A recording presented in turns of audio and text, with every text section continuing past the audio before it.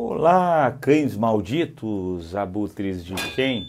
Eu, Marco Antônio Colares, estou aqui novamente no Fórum Conan o Bárbaro, o canal mais bárbaro do YouTube.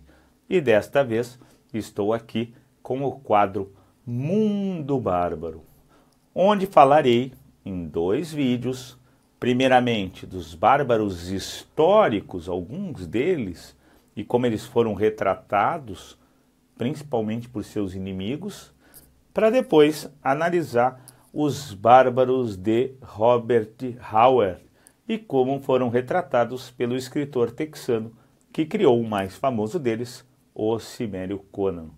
Vou utilizar um pouco do segundo vídeo, principalmente da análise do chamado barbarismo filosófico, para analisar um pouco esses personagens criados pelo Howard e como ele retratou esses personagens. Mas primeiro vamos falar dos bárbaros históricos, não esquecendo que eu vou me utilizar do meu livro, né, baseado no meu mestrado, Civilização e Barbárie em Conan, de Robert E. Howard. Aqui é a segunda edição, que está esgotada. Logo, o selo Fantastic Hub trará para todos vocês novamente esta obra numa campanha de financiamento coletivo. Então vamos ao mundo bárbaro. Vai lá, dá o like nesse vídeo se gostou, espera o final, comenta, ativa o sininho e se inscreve nesse nosso canal, porque nós precisamos do teu apoio. Solta a vinheta aí, Muramassa. Mundo Bárbaro, aqui no fórum. Bom, cães, essa vinheta é fantástica. Vamos começar então falando de alguns bárbaros. O primeiro, acho que é um dos mais famosos. Quem nunca ouviu falar de Átila o Uno? Sim, ele que no século V depois de Cristo fez guerra contra o Império Romano, não apenas na parte oriental, mas também na parte ocidental do império, na época, entre aspas, em decadência. Ele que atacou inclusive a própria Itália. Átila, que nasceu no norte do, do Danúbio, era sobrinho de Octar e Rúgila, os criadores do Império Uno, e ele que, ao contrário da visão usual que se tem sobre esse, né, esse bárbaro, insano, irracional, ele era, muito ao contrário, versado em muitas habilidades. O manejo do arco, o uso da espada, a diplomacia, a estratégia, o hipismo e inclusive sabendo, né, conhecendo as línguas e a escrita do gótico e do latim. Ao contrário então do que se pensa, era um sujeito, vamos dizer, segundo os critérios dos seus inimigos, seria um sujeito com alta cultura, civilizado, Átila, que no ano de 441 depois de Cristo, percebeu que o Império Romano não estava cumprindo antigos acordos firmados com os hunos para que eles não arrasassem com as cidades imperiais. E então, novamente, ele passa a atacar cidades, principalmente na parte oriental do império, no chamado Médio Oriente, no que depois vai ser chamado de Império Bizantino. O imperador Teodósio II, então, para não ter as suas cidades arrasadas pelas hordas dos bárbaros hunos, liderados pelo Átila, teria pago então um resgate equivalente a mais ou menos 2.100 libras de ouro, mais ou menos. Átila, que venceu várias batalhas sendo derrotados em apenas uma no ano 451, quando 200 mil hunos foram rechaçados na Gália por um acordo entre as tropas do general Flávio Aétios com os visigodos de Teodórico I. Infelizmente, essa aliança romano-gótica na Batalha das Planícies Catalunianas, acabou derrotando as tropas de Átila. Teodórico foi morto nessa batalha e Átila, então, aproveitou para invadir a Itália, ganhando mais reputação ainda como flagelo de Deus e um bárbaro sanguinário. Mas vamos pensar em outro bárbaro, um outro bárbaro um tanto famoso, o bárbaro Alarico, rei dos visigodos, mais ou menos ali entre o ano de 395 e 410 depois de Cristo. Ele que nasceu numa região que hoje seria o equivalente à Romênia. Ele que subjugou a Grécia em 395, atacou a Itália logo em seguida, saqueando Roma, a cidade eterna, como era chamada, em 410 depois de Cristo, à frente de um exército de visigodos bárbaros que se tornou isso um marco para a queda do Império Romano do Ocidente. Lembrar que esse saque de 24 de agosto de 410 foi marcante, apesar de Roma não ser mais, na época, a capital da parte ocidental do Império, sendo na época a cidade de Ravenna. Mas havia aquela ideia de Roma como a cidade eterna, uma espécie de capital e centro espiritual do império. A pilhagem perpetrada pelos visigodos foi um choque para os contemporâneos, amigos e inimigos do Império Romano Ocidental. Lembrando que em 800 anos Roma não tinha sido saqueada. O último saque tinha ocorrido no ano 390 a.C., quando os gauleses, liderados por outro bárbaro, Breno, atacaram e saquearam a cidade eterna.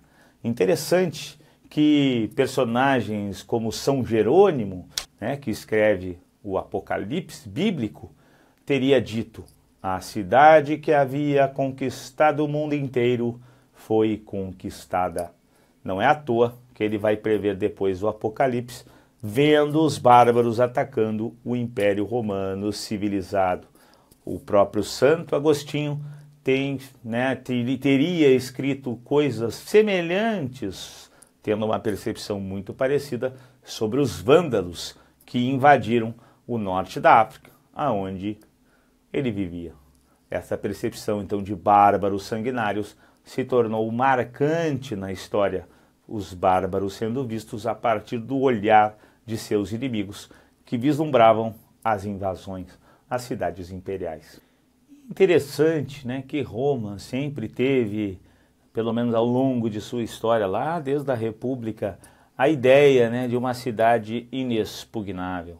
Nem mesmo o cartaginês Aníbal, que invadiu a Itália na Segunda Guerra Púnica, lá por volta de 218 a.C., conseguiu, ousou saquear a cidade de Roma, chegando a vencer várias batalhas contra os romanos, mas jamais chegando a adentrar na cidade eterna. Mas vamos a outro bárbaro, talvez um dos mais famosos de todos eles, um bárbaro que foi inspiração para o filme Conan the Barbarian de 1982, na medida que o diretor e roteirista John Milius adorava o personagem histórico Gengis Khan e queria retratar um pouco do Gengis Khan no filme The Conan o Bárbaro com o nosso querido Arnold Schwarzenegger. Gengis Khan, que foi um guerreiro e político mongol que expandiu seu território da Ásia até a Europa, criando um dos maiores impérios territoriais contínuos que já tivemos notícia, o Império Mongol, que vai chegar a seu auge no século XII depois de Cristo. A lenda e os textos dos povos civilizados faz de Gengis Khan sinônimo de déspota sanguinário, bárbaro, assassino e impiedoso, mas ele é conhecido, acima de tudo, por unificar as tribos mongóis muito divididas e muitas vezes lutando entre si. Gengis Khan, que nasceu em algum lugar da Mongólia no ano de 1162, na tribo dos Kiataboriti, Temujin, não sei se a pronúncia é correta. Ele que era chamado, na verdade, de Temujin. Temujin ficou órfão muito jovem, mais ou menos com 13 anos de idade, e se viu abandonado pela tribo de seu pai. Em 1179, já maior, ele casa com Borte, de quem era noivo desde os nove anos de idade. Dez anos depois, a tribo dos Merquitas, acho que é assim que se fala, saqueou o acampamento do clã dos Borgigins. Borgigins Gigins. É difícil falar, né? Tomando a esposa Borte de Temujin. Temujin então vai organizar e vai fazer uma aliança entre várias tribos, vai atacar a tribo dos invasores Merquitas e vai se tornar, ao resgatar sua esposa, o chefe de sua tribo. Ele muda o nome então de Temujin para Gengis, que significaria na língua mongol algo como, entre aspas, guerreiro perfeito. Gengis, cada vez mais popular, unificando as tribos mongóis, decidiu em 1192 atacar a tribo e a etnia dos tártaros, que eram muito fortes, principalmente na China e até mesmo na Rússia sendo um grupo étnico, entre aspas, racial, que tinha sangue mongol nas veias. Aliás, não é à toa que o Bob Howard faz com que tártaros, hunos e mongóis, além dos turcos, tenham uma mesma origem na sua era iboriana. O fato é que Gengis Khan ganhou a simpatia da dinastia Qin, que reinava na China ao sul das terras mongóis e também eram ameaçados pelos tártaros. Dominando pouco, pouco a pouco as tribos mongóis, Gengis Khan, ou melhor, Gengis decidiu legalizar o seu poder.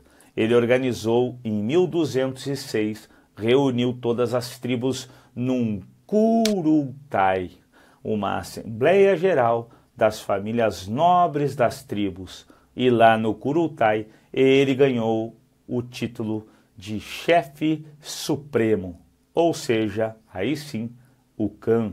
Gengis Khan sentia-se como um executor de uma missão divina e a partir daí ele costumava dizer: Sou um único sol no céu, um único soberano na terra. Transformou a força militar dos mongóis num verdadeiro exército imperial organizado e reuniu todos os códigos de leis das tribos numa só constituição, o Jasak. Acho que é assim que se fala, Jasak. Julgou então chegada a hora da expansão imperial. Parece então que eu vejo aqui nesse Gengis Khan nada mais do que o bárbaro que se tornou civilizado, criando o império. Como novo imperador desse império, ele dizia: a primeira meta é cuspir para o sul, ou seja, atacar a China. A conquista começa em 1211. Os mongóis devastam os campos da China e os chineses mantêm-se nas suas cidades fortificadas. Em 1215, já estou falando do século XIII, gente, lança nova expedição contra Pequim. Nisso, o imperador chinês foge da cidade, deixando alguns generais para defender o lugar, o que não foi bem sucedido. Em 1218, Gengis Khan segue a expansão e conquista o Tajiquistão. No ano seguinte, a Pérsia é o equivalente aqui né, ao Irã. Entre uma vitória e outra, ele funda a cidade de Karakorum tomara que esteja certo, que se torna a capital de suas imensas possessões. Até então, ele havia se limitado à Ásia Oriental, mas a partir de 1219 iniciou sua travessia das grandes cadeias montanhosas que isolavam os povos da Ásia Central e Oriental das civilizações da Ásia Ocidental. Depois chegou em Kiwarizan, meu Deus, que hoje seria também parte do Irã e do Afeganistão. Tomando de surpresa, seguiu ainda e atacou várias cidades muçulmanas como Otrar, Bocara, Samarcanda, Meri, Nikapur e Herat. Aliás, passou a ser temido cada vez mais pelo Império Islâmico. Tornou-se o único senhor de um imenso império que se estendeu da China ao Golfo Pérsico, dos desertos gelados da Sibéria às florestas indianas. Para muitos, o maior império territorial contínuo que o mundo já viu, desconsiderando talvez países imperiais contemporâneos. Gengis Khan tornou-se o senhor de um império que se estendeu da China ao Golfo Pérsico, dos desertos gelados da Sibéria às florestas indianas. No entanto, durante suas campanhas militares, acabou sendo conhecido como um assassino de milhares de adversários teria matado milhares de muçulmanos, cristãos e budistas, e isso talvez tenha levado à representação de Gengis Khan como um bárbaro sanguinário. Em 1221, ele volta à Mongólia. No dia 18 de agosto de 1227, depois de uma batalha no sul da Ásia, ele morre aos 66 anos de idade, no auge de seu poder.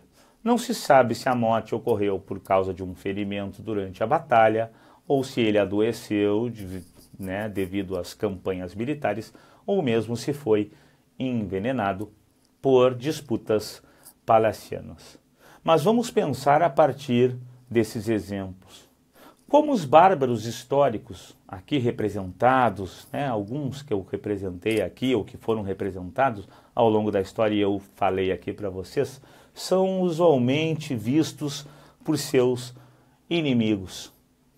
Vamos dizer que os muçulmanos, os cristãos e todos aqueles que se consideram civilizados constroem uma visão de barbárie a partir das campanhas militares desses líderes bárbaros contra cidades civilizadas ou impérios mesmo quando são os impérios aqueles que atacam. No que diz respeito, posso dizer que os cristãos, ao falarem de Átila ou mesmo de Alarico, rei dos visigodos, constroem a visão desse bárbaros, desses bárbaros sanguinários, assim como muçulmanos e chineses dos Gengis Khan. Mas vou, vou aproveitar e fazer uma breve leitura antes de terminar esse vídeo do Civilização e Barbárie. Prestem bem atenção. Eis que então, aqui no meu livro, né, o Civilização e Barbárie em Conan, lá no capítulo 5 da parte 2, eu escrevo o seguinte, para que vocês entendam um pouco do que eu estou querendo dizer nesse vídeo. O primeiro sentido de civilização né, é, trata como um estágio da passagem de um modo de vida primitivo para outro modo, retirado da tradição renascentista e iluminista. Seria uma espécie de afastamento dos costumes grosseiros e rudimentares das sociedades arcaicas para outras formas de agir dentro de uma sociedade mais aberta e urbanizada. Seria um, um, igualmente um processo de abrandamento dos costumes, refinamento dos modos no trato social de busca pelos pudor nas relações individuais e coletivas. O segundo sentido designa a civilização como um momento de alcance de uma condição superior no que tange a ciência, as letras, as artes, ou seja, abre aspas, o patrimônio mais elevado de uma sociedade. A representação de civilização seria então a face mais elevada da cultura humana vinculada à parte especulativa, contemplativa e espiritual da vida. Por fim, o terceiro sentido, que designa a civilização como uma forma de conduta de um sujeito, um grupo, um coletivo específico em relação a outros, condutas de respeito nas relações sociais, por formas específicas de assistência, cooperação, compaixão, conciliação e pacificação nas relações humanas, principalmente entre etnias, nações, culturas, povos, ou seja, entre nós e o outro. Por que, que eu estou falando isso? Porque os bárbaros históricos, eles foram historicamente representados como sanguinários, tal como Gengis Khan, tal como Alarico, tal como Átila, tal como Aníbal, por exemplo, a partir do olhar daqueles que se diziam civilizados. E aqueles que se diziam civilizados, costumeiramente se diziam urbanizados, evoluídos, racionais, empáticos em relação aos outros, ou seja, pessoas que é, faziam parte de uma sociedade mais urbanizada, mais moderna, mais organizada e, por sua vez, civilizada. Mas vejam, mas vejam, na história humana, tanto os civilizados que se arrogam como superiores, dentro desses sentidos que eu falei para vocês, quanto os bárbaros, na história que a gente tem notícia, antes talvez do mundo contemporâneo, quando os países se pautam por relações de diplomacia e acordos internacionais, mas antes disso, tanto civilizados ou que se dizem civilizados quanto bárbaros não eram lá muito diferentes. Mas normalmente o civilizado, ou o que se diz civilizado, o que se diz num estágio superior da sociedade, das relações humanas, ele vai taxar aquele que ele considera bárbaro como sanguinário, como cruel, como belicoso, o que não passa de uma representação. Pois historicamente tanto os chamados impérios civilizados como aqueles que são considerados bárbaros fizeram guerra e massacres. Gengis Khan, por exemplo, era chamado de bárbaro pelos seus inimigos, muçulmanos, chineses, mas ele tinha todos os, né, os conhecimentos de diplomacia, estratégia, todas as relações sociais dentro do império tal como qualquer império civilizado. Afinal, o Império Mongol tinha seu conjunto de leis, tinha seu exército regular, tinha sua organização social, sua hierarquia política, não muito diferente de um Império Romano, de um Império Chinês, etc. Porém, visto do ponto de vista de seus inimigos, ele era um bárbaro. No próximo programa, ou melhor, no próximo vídeo desse quadro Mundo Bárbaro, entramos finalmente nos bárbaros de Robert e Howard. E logo, quem sabe, vou avisar a campanha no Catarse, pelo selo Fantastic Hub, deste livro Civilização e Barbárie em Conan, que foi baseado no meu mestrado. Estamos com uma campanha para iniciar agora em setembro de um quadrinho fantástico de biologia especulativa. Trata-se de Humanity Lost. É fantástico, a cores, luxo, muito bem desenhado, ilustrações incríveis e uma história coesa. O tomo 1, no total são três, tem 170 páginas de quadrinhos e extras. E estamos lançando no Catarse pelo Fantastic Hub. Fica ligado para que tu possa apoiar e para fazer acontecer essa campanha. Até mais, malditos. Não esquece de comentar e até o próximo Mundo Bárbaro com os bárbaros de Robert e Howard.